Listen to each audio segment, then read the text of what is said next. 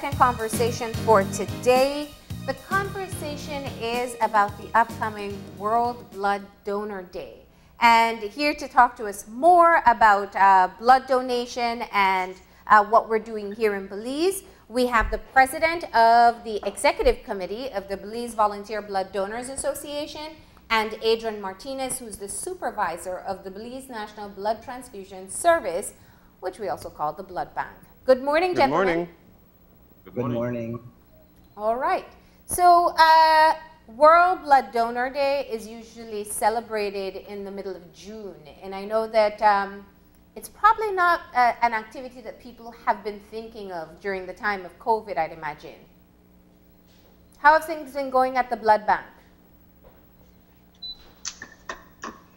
Well, blood donation is still ongoing, regardless of the restrictions we have from ministry. Um, it's a challenge. We have been through many challenges. However, this is one of the one that have really taken most of our donors and our blood donations. Um, we have a average amount of blood donors so far. Our voluntary blood donors are still coming. That's the good um, point of it. Um, we have good communication with them. Um, we're collecting on a daily basis, let's say like 20 units of blood. Our Countrywide or in Belize? Uh, excuse me? Countrywide or in Belize City? Uh, I'm only in Belize City. Okay. That's a daily, daily. Okay. Um, countrywide, that would be like around um, 340 to 500 units per month. That's a total. Okay. The volunteer would be like 10% of it. Yeah. So we see that the the percentage for volunteers are still coming in. Um, the communication is still good. Yeah. Um, the So- demand is as needed. Um, most of the emergencies cases are just de- deal- dealing with in the hospitals, and um, routines are being canceled. Eventually, all of those are picking up.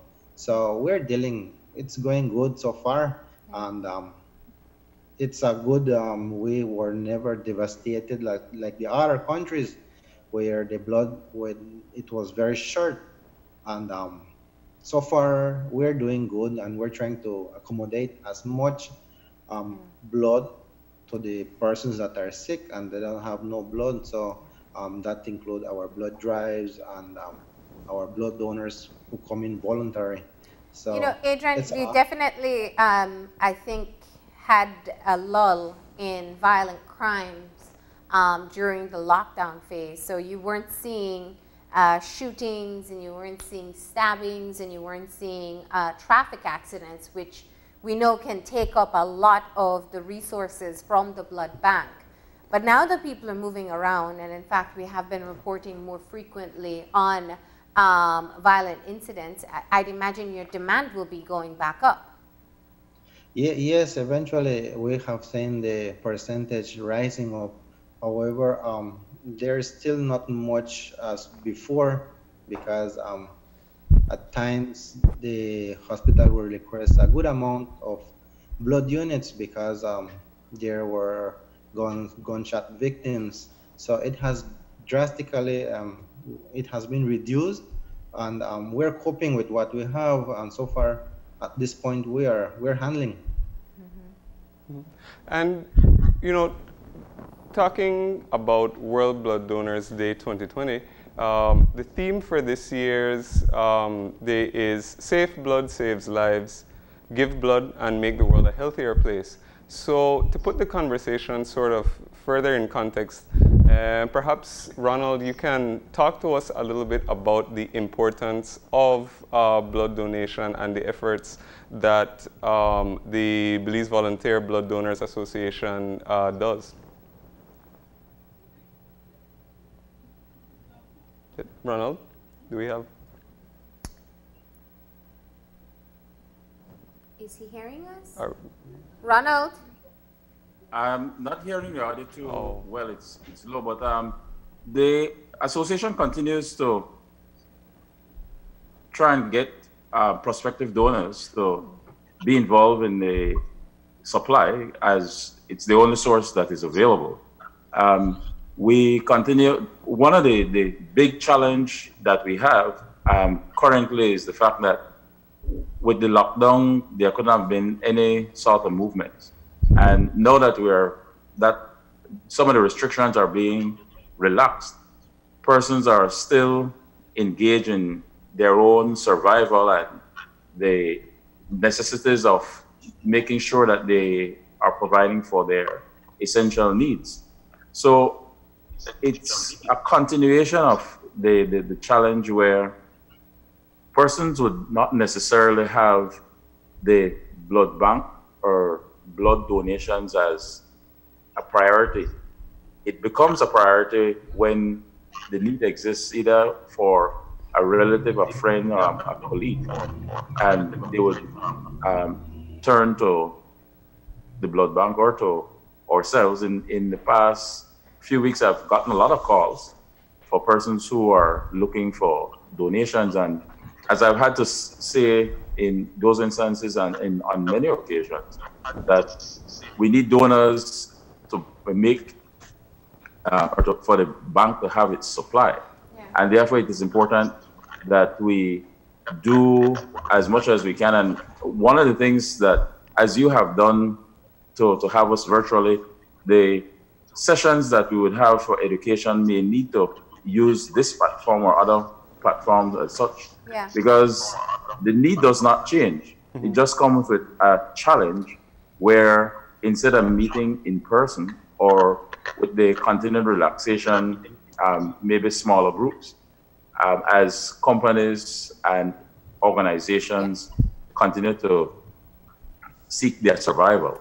So let me let me let me dive into some numbers here because Adrian said they're receiving somewhere around or over 300 um, blood the, the donations. Order is very low. I'm not hearing you well. Yeah. Okay. So I'll just talk a bit louder. It may be I, am getting right, yes. a, I'm getting a notice that it might be on your end, so you'll have to check and see if your speaker is up. Um, I, I have my audio turned up all the way. Okay. Sorry, go ahead though. So I was saying that the numbers that we're getting um, from Adrian is saying over 300 donations per month across the country. Um, and out of that, it's only 10% uh, uh, that is voluntary. And that means people just go to give, to contribute towards the stock that exists. Over the years, we seem to have been unable to move that number. We're not getting that many people interested in being voluntary donors. Why do you think that is? Um, I, I think a lot of persons don't necessarily um, understand or sometimes appreciate the importance ascribed to um, blood donations when there isn't a need or when it doesn't Im immediately impact themselves or those who they care about.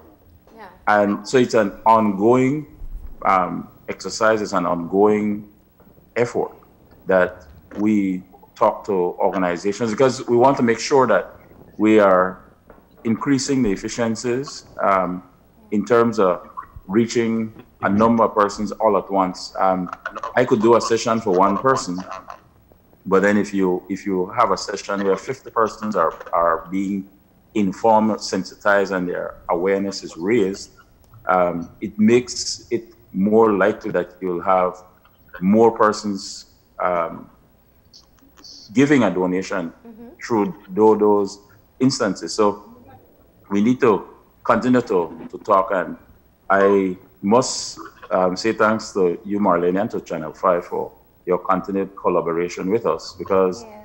um, being in the media, it helps the message to get out far more effectively um, and efficiently than we could do yeah. on our own. And it, it, it doesn't, um, I mean, I think we have such a young population. It seems somewhat uh, easy to imagine that we could have a larger base of voluntary donors. I believe uh, Dr. Jorge Polanco has joined the conversation. Doc, are you there? He's on mute. So uh, Dr. Jorge Polanco is the yes. non-communicable disease focal point for PAHO, And uh, Dr. Polanco, I'd love to get you to weigh in on this conversation about how we're doing in, in our own uh, blood stock in Belize. Um, well, I think that question in regards to our own blood stock, I could give you my perspective, but of course, a better person would have been Mr. Uh, Adrian. But from what I have seen over the recent years, the stock uh, of blood and blood products at the blood bank, I would say it has been satisfactory. There are two systems which um, is well known to you, are well known, the replacement system and the voluntary uh, blood uh, donations, which uh, as Mr. Stuart said, has been a challenge and is of much concern. But the reality is that even though we have a low proportion, the replacement system has been working in, yes. in such a way that we managed to fulfill the demand. But of course, in more details as to um, specific challenge, Mr. Martinez would be in a better position to, yeah. to, to respond to that. Yeah. Adrian?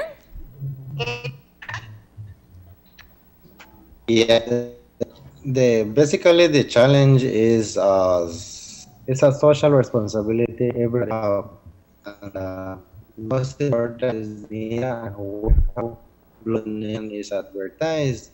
Um, most of the time, our donors does not know uh, the correct information or where to donate blood, and uh, it's a chain that starts one to the other and uh, and for infrastructure and um, other little things. However, the most important is that is the information, educational information when it's donation, um, the reason and the importance um, when you can get blood, the materials you need, um, you're a female or if you are ma- if you're a male then they have different criteria that yeah. need to address so yeah. most of the time uh, people might have um, other concerns no yeah. however um, we did a um, and find out it's more uh, advertisement and educational information that needs to be um, sent to the public and um, every year we realize that um, with along with PAHO and all the other stakeholders uh, in geopromotional shows, about and doing blood drives. However, um, there's much more to be done. Mm-hmm. So that's why yeah. at this moment much you more know, to be done. And you know, uh, Dr. Polanco, since we are s- still sort of on the topic of spreading awareness and education, perhaps for the benefit of our viewers, I think that perhaps in light of what Marlene said, it's true that we do have a young uh, population, and so the need may not be readily apparent to all of us. So uh, perhaps you can um, shed a little bit of light on in terms of um, how much uh, or how often blood is needed and in what situations, um, medical situations, I should say, um, a person might need a blood transfusion or they might need other th uh, things because people might think, oh, maybe only it, it, it, the need is not so great. But perhaps you can shed a bit of light on it um, for our viewers so that they're aware of um, how important it is that blood, that blood donations continue. Yeah, um, very, very interesting question and of much relevance to Belize. A, one of the areas that needs a significant amount of transfusion is the maternal and child health um, services, the hospitalized services. It's a well, it's it's a known fact that um, normally a, there would be a significant amount of transfusions to women in the moment of having delivery or a C-section. And of course, for neonates, for newborns, there are many pathologies, many, many health problems that require the transfusion as part of the treatment, as part of the management.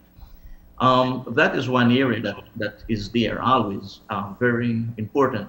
And we also have the, the, the other areas, I would say the um, medical and surgical aspects.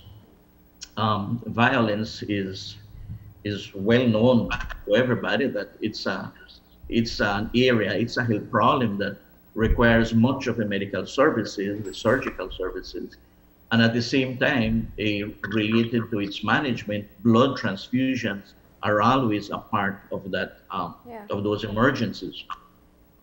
However, the the provision of the blood donation to surgical a um, surgical cases is normally done through the replacement system. However, at the moment of transfusion, the blood is given by the health facility yeah. on the emergency moment. And then the, the relatives or friends will find a replacement for that unit used. Yeah. But so these are areas, the violence in general, road traffic accidents, homicides, uh, um, accidents, work-related accidents, and as I mentioned, the maternal and child health.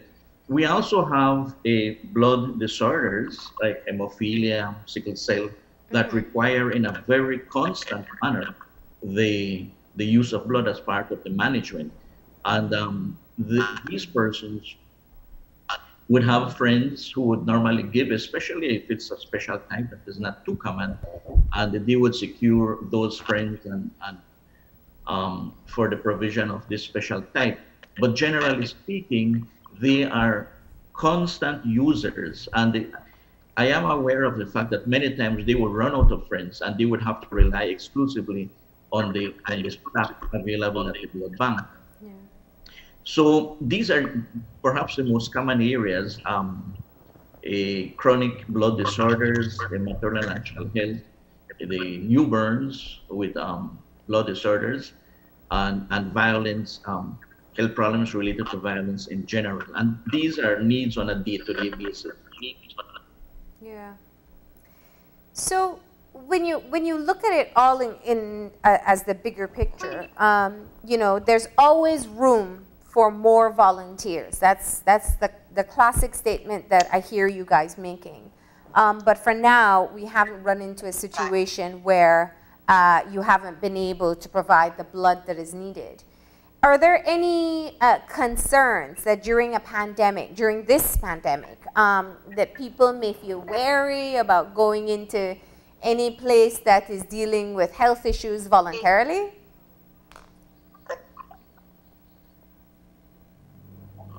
I didn't get the last part. Um, I mean, for, for people to go in and donate blood during a pandemic, are they still comfortable doing so? Do they have COVID 19 concerns? Well, the reality is that there should be a constant effort to keep the provision of blood donation open, um, even though there are restrictions in regards to movement and distancing yeah. and, and the lockdown that we have passed uh, one or two phases already. But the the emphasis is to provide safe blood. That's that's the underlying principle yeah. that um, the blood bank should have available safe blood. And in order to do this, the issue of promoting voluntary donation is fundamental. Yeah. Uh, Mr. Adrian could, could expand on the screening that is done on a very routine basis, a very comprehensive basis for the donations that come from volunteers or the replacement um, donors. But um, it's also a known fact, scientifically proven, that the risk is much less in, in having a stock coming from volunteers. A, if you are a volunteer, you are sensitized, you are informed as to what should be a, a healthy behavior, what should be a responsible a, a sexual a sexuality behavior. Um, so the, these persons tended to be healthy, which means that the risk of having uh, a disease or a, a, a, an infection that would mm-hmm. be a problem to the safety of the blood is much, much lower than the replacement donors even though there is a screening tool which is used on absolutely every case at the blood bank, the possibility for persons in that moment of stress to, to not be truthful is there. Yeah. I, I would prefer Mr. Adrian to expand on that. But um, um, coming back to the issue of pandemic, the COVID-19 should not really be a, a, an obstacle for the blood bank to have access to um, blood donors, either replacement, and of course, the ideal thing would be to have voluntary donors. I know that the restrictions of movement over the last few weeks um, definitely had um, an impact on the blood bank doing blood drives. But I think this is passing, and I'm very, very sure that there are ways as we speak to still have those blood drives and to still have the public come up as volunteers to, to give blood at the blood bank, either in Belize City or at the district level, either in Belize City. Yeah. So th there is a blood drive though coming up. San Pedro is going to be doing one. Uh, let's talk about the activities for World Blood Donor Day. Um, for the day, it we well because it falls on a sun, Sunday, this coming Sunday. Um, the activities are being done tomorrow and on Monday. Um, recognizing donors who, who come in, and um, quite appropriate for this time is to provide them with a face mask with the logo of the association mm-hmm. in um, expressing it's a, a, small token um, for their continued um, support of the work that we do. Um, beyond that, we, we need to, as I mentioned earlier, the, the need to look at how we could continue to do these education sessions um, when there are the restrictions. Um, you know, while it has increased from 10 to 410, it's supposed to be increased, increased again in terms of public gatherings. Um, there's still the, the restrictions of six feet apart and the locations where we would need to meet might not necessarily have that sort of space allowances. So I, I think it's um, critical that we continue to explore the ways and support or to get support from the wider community, because after all, the work that we do is for the benefit of um, individuals within the community. And for those persons who are viewing and have considered but have not yet acted on it, yeah. I would encourage you. Um, being a donor myself, for now I'm completing 25 years this year, mm-hmm. and I have done. I I've given close to 80 donations over that time.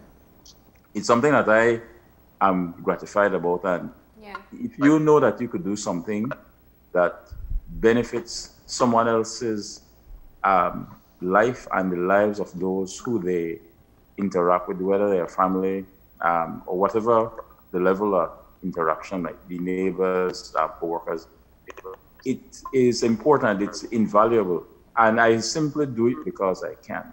Yeah. Um, and, and I think that's one of the key points that, that we have to get out here. So, you know, one, um, you can donate blood and you save three lives. That's, that's the right. message that usually yeah. um, goes out. Um, and it's also um, something that you can do once you're healthy enough and you pass through the screenings, um, just as your contribution to the wider society. I mean, you've been doing it for 25 years uh, I think it's time that we, we start to get more people on board too. What would you say to them, just uh, in, in one sentence, that what difference does it make when you have voluntarily give blood, uh, given blood um, and help to save other people? How does it make you feel? I, it's, it's, um, it's something that I am proud of. Um, you know, I don't have to get any accolades for it. It's not, I, I don't look for any um, attention because I do it. Um, simply by this process, um, we need to inform the public so that they become aware of how important it is. I can only, and any other donor could give a maximum of four times for the year. Yeah. And when you look at the collections that we've had, um, the, the, data for last year, it's um, just under 7,000 units that was collected. But then you look at number of persons who has given, we could always increase that because um, the more donors you have who are able to give, makes it easier on the, the, the system in terms of um, because we have limited resources with which we are working.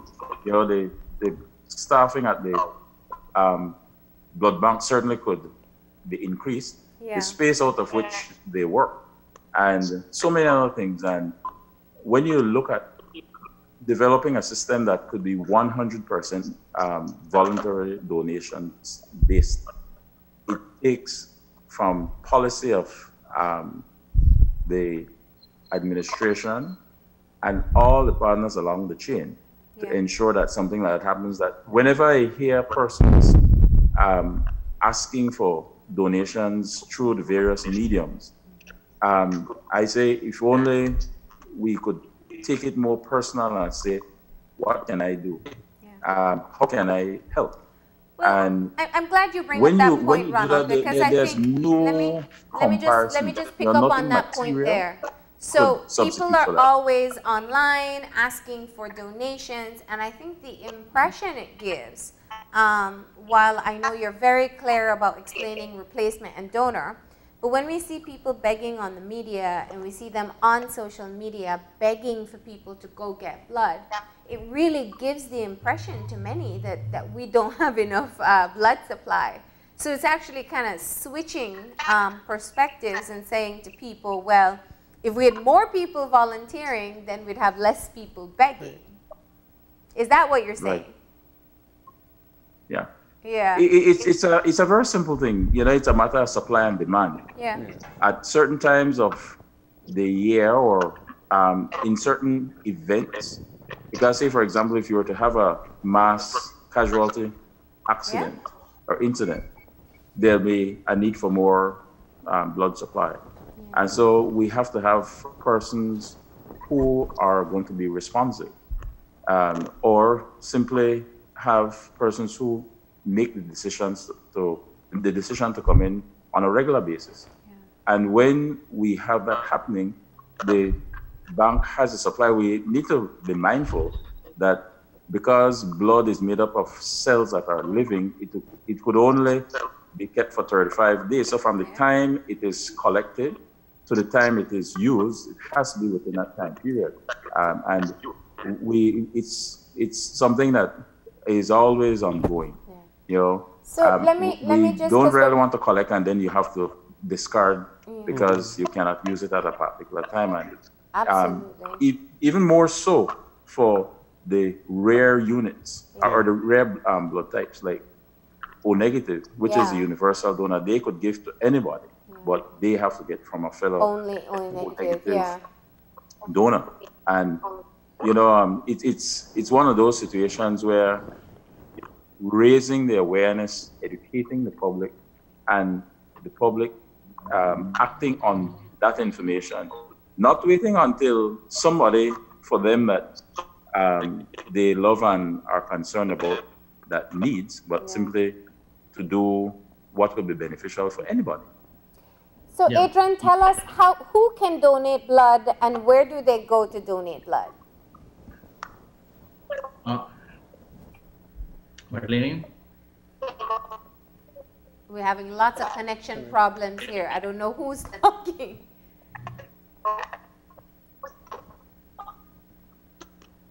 Hello? Hello. Yes. Um, Marlene? Uh-huh. Uh, I came in a few seconds late, but I'm not sure if it was mentioned. But what I want is um, to take the opportunity for the purposes of information to the public. Okay. Um, the, the, the, the different diseases that the blood bank screens, Screens every for. donation. Was it Yeah. mentioned? No, it hasn't. Okay, yeah, this is something very important um, that justifies why we really should push more to have volunteers, uh, voluntary donors.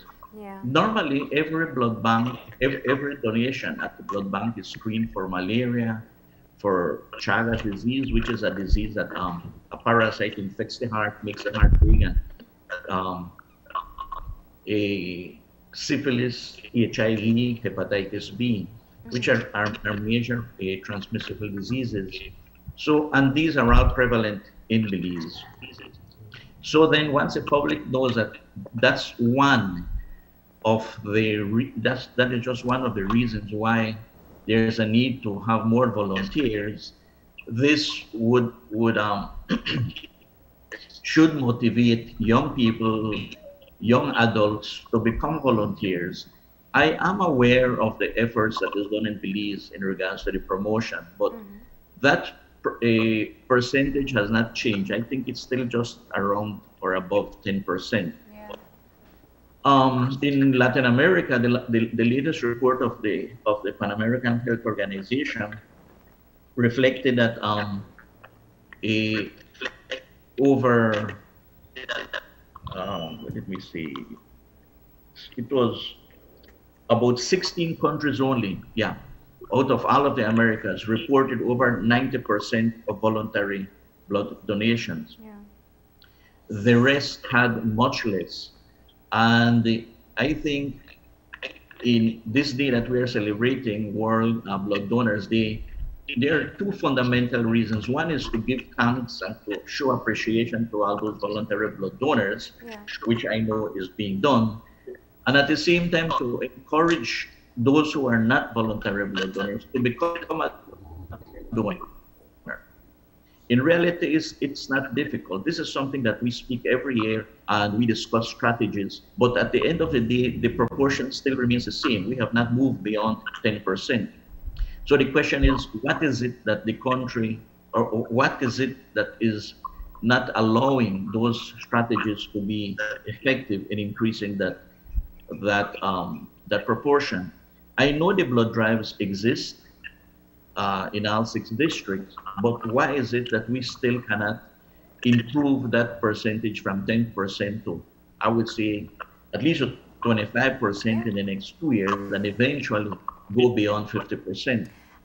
I think if so, we've done the numbers before, it's something like just getting 16, uh, it's less than 20 people to donate per day voluntarily that would get us to that target. Sorry, sorry? Yeah. The Yeah, the connection yeah. is not helping us right yeah. now. But we got to yeah. close off this segment at this point. Um, Adrian, I do want us to get in very clearly who can donate, what age, um, and where they go.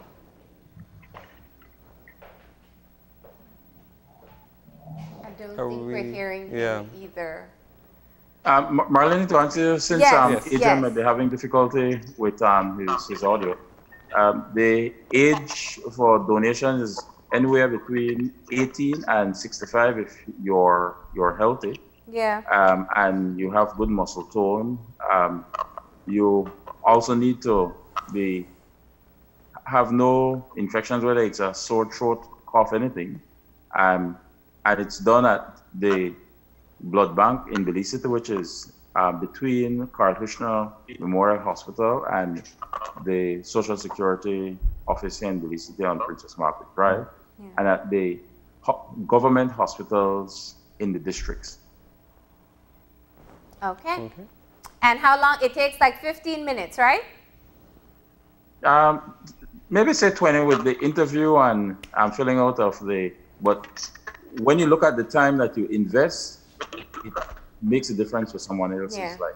Absolutely. Well, we hope that more people uh, will feel encouraged after this conversation to go out and uh, do their part and donate blood um, and definitely help, as your theme says, uh, make the world a healthier place. Thank you so much for, for joining us this morning.